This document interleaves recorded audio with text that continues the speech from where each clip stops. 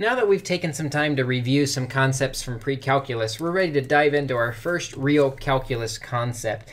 And that is the question of what are limits? First, we're going to take a look at the idea of a limit.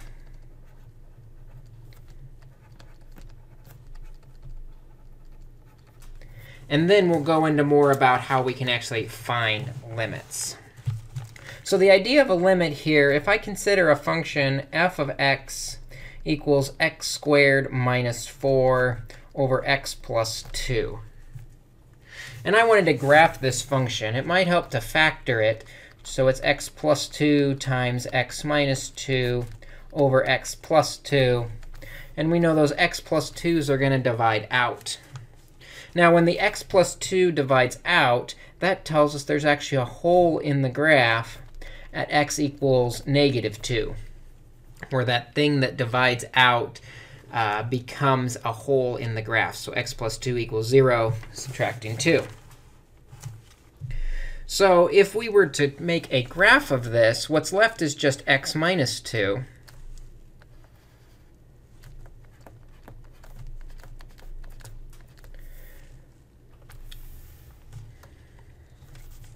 Actually, let's extend the graph to the negative direction a little bit as well.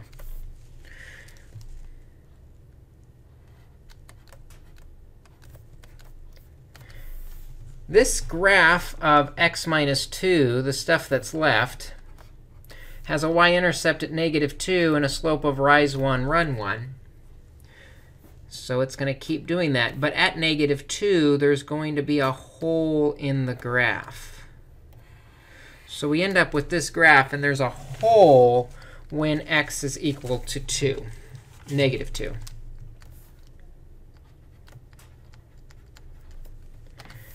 That hole we see has a y coordinate of negative 4.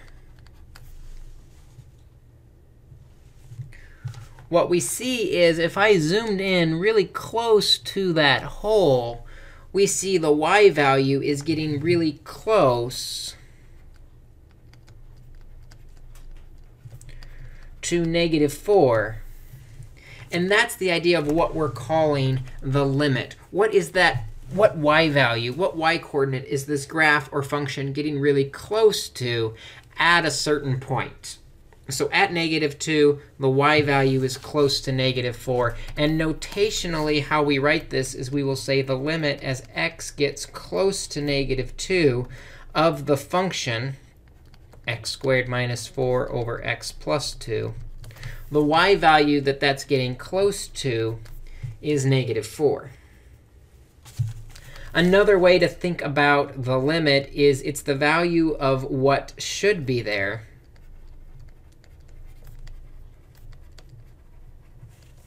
even if it is not there.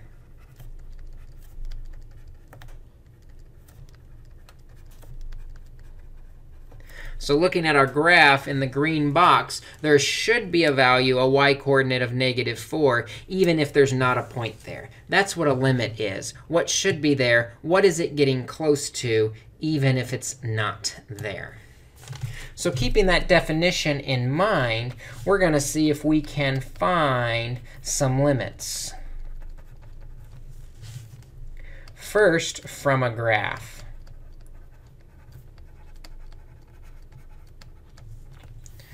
So I'm going to make this graph 1, 2, 3, 4, 1, 2, 3, 4.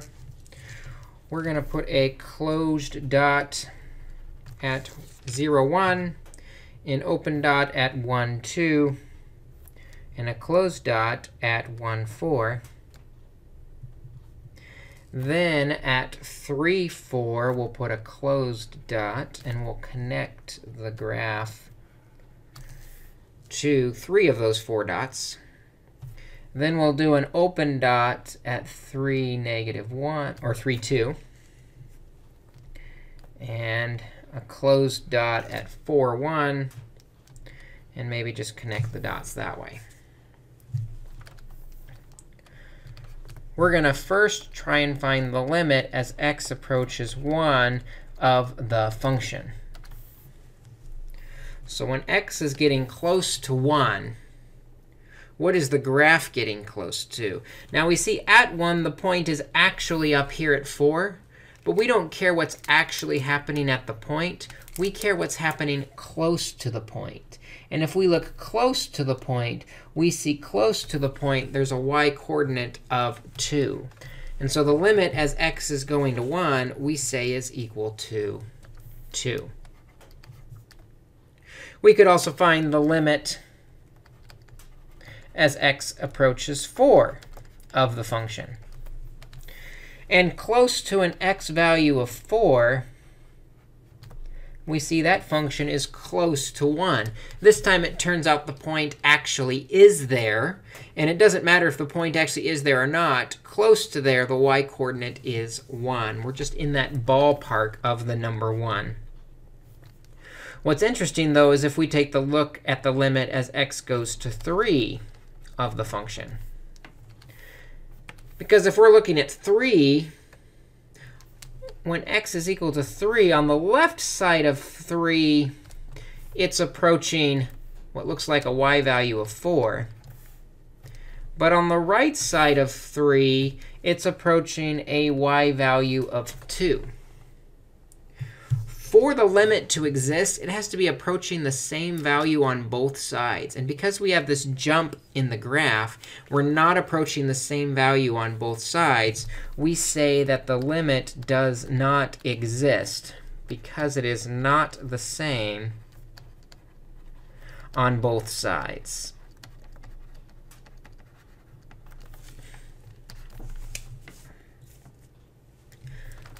So that's how we can pull a limit off of a graph. We look at what y coordinate are we getting close to for a given x coordinate. Another way we can find a limit is from a table. Let's look at what that would look like. Let's say we have the function f of x equals x squared minus x minus 6 over x minus 3. And we're looking for the limit as x gets close to 3 of f of x, of the function. Well, the idea is we want to know what's happening close to 3. We don't really care what's happening at 3. So we could pick an x value that's close to 3, maybe 2.9. And we'll see what the function is getting close to. In fact, what we'll do is we'll pick even closer values, 2.99 and 2.999, and see what we're getting close to as we get closer and closer to 3. But remember, from the previous example, it has to be doing the same thing on both sides. So we're going to also pick x values on the other side of 3, maybe 3.1, and see what the function is looking at. Then we'll get closer, 3.01, and closer, 3.001. And the hope is the y values, the f of x's for both sides, are getting closer and closer to the same number. Let me show you a trick on the calculator to help us test this out. On the calculator, I'm going to go to the y equals button, clear out any function that might be in there, and then I'm going to type in the function we're working with. I need to put parentheses around the numerator, x squared minus x minus 6, close the parentheses, divided by, we need parentheses around the denominator, x minus 3, close the parentheses. And then what I'm going to do is I'm going to hit second table, which is on the graph. This will allow me to pick values for x and it will tell me what y is going to be equal to for those values. First, I'll delete out these from an old example. If you don't have the ability to type in the x values you want, hit second window, which is table set, and make sure the independent variable is set to ask. Then when you hit second table, you get to pick the x values. So we want to know what's happening at 2.9, 2.99, 2.999. And also what's happening on the other side at 3.1, 3.01, and 3.001. And what we see is this gives us y values that do seem to be going the same direction. The y values on the left were 4.9, 4.99, and 4.999. That seems like it's getting closer and closer to 5. The right side was doing the same, coming in from the other direction at 5.1, 5.01, and 5.001. It's also getting closer and closer to 5. And so because it's approaching the same thing on both sides, we can say the limit as x approaches 3 is equal to 5. Now, this table method is nice to get an idea of what's happening with the function near a value. The problem is it's a very inefficient method to go through, especially if the function starts to act really weird as we get closer and closer to a value. So we need a more algebraic way to try and get at the limit. And so we're going to find the limit from an equation. And the idea of finding the limit from an equation is we will plug the value in the function if possible. Or we'll use algebra.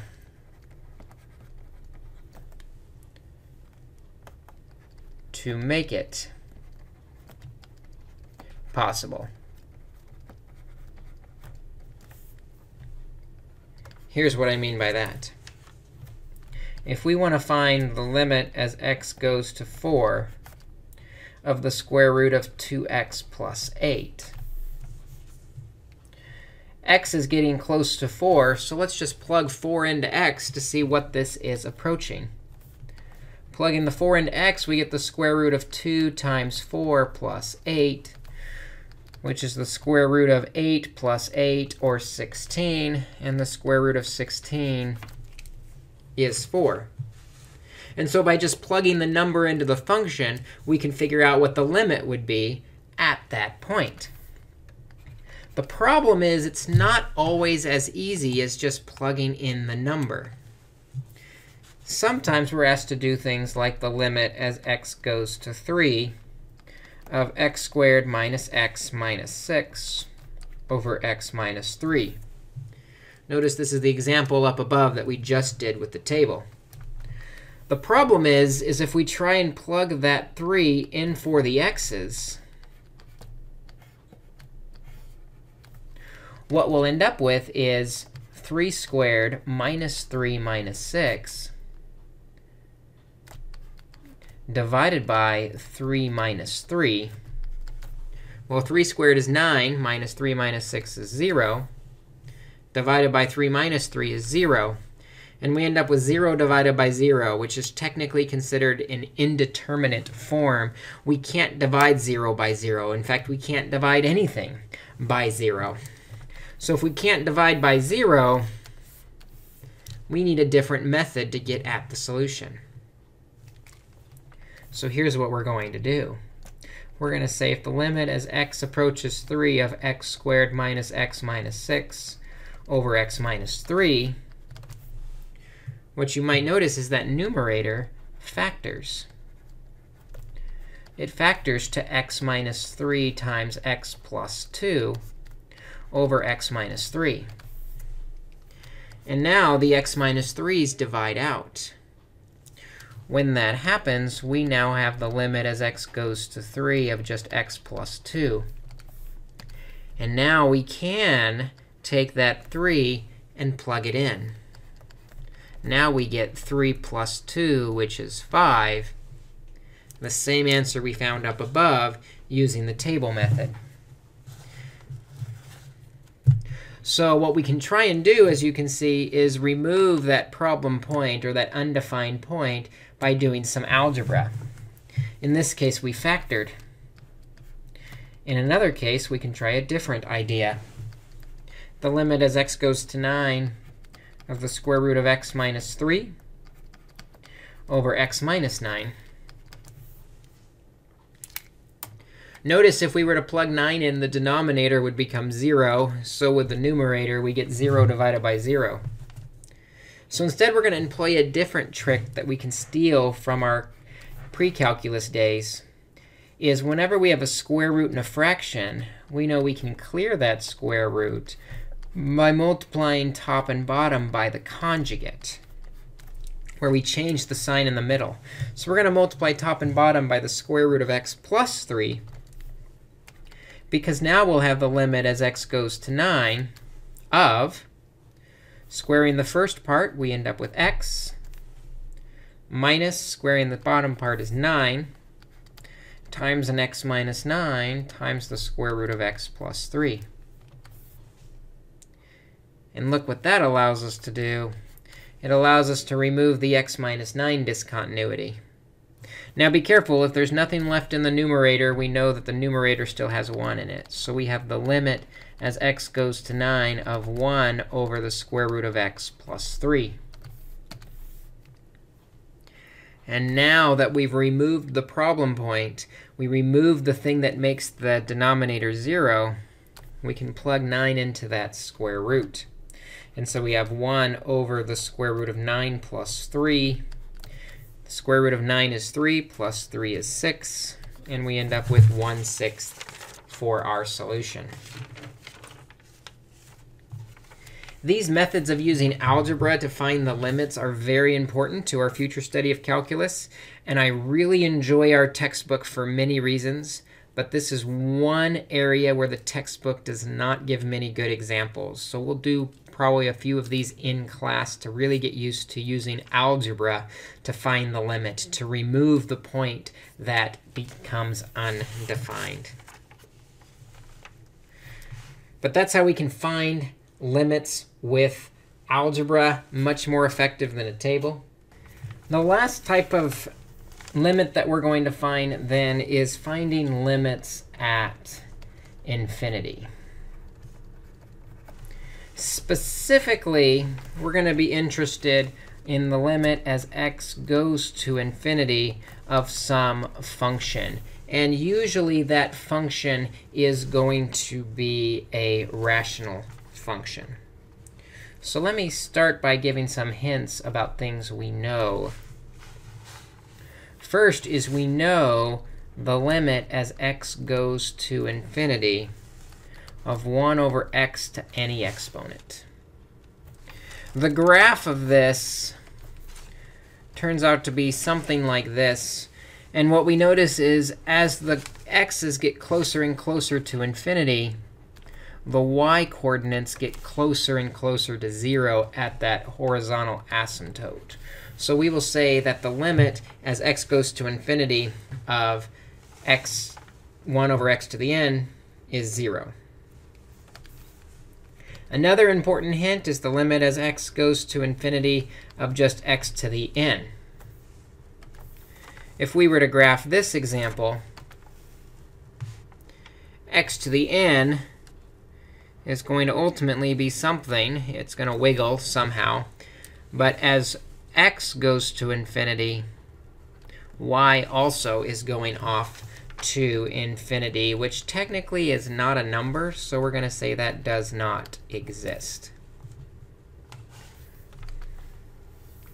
But the limit as x goes to infinity of a quotient of functions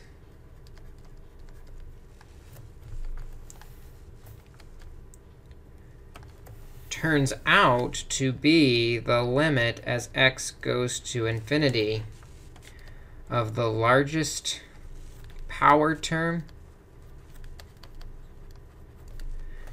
of the top divided by the largest power term of the bottom.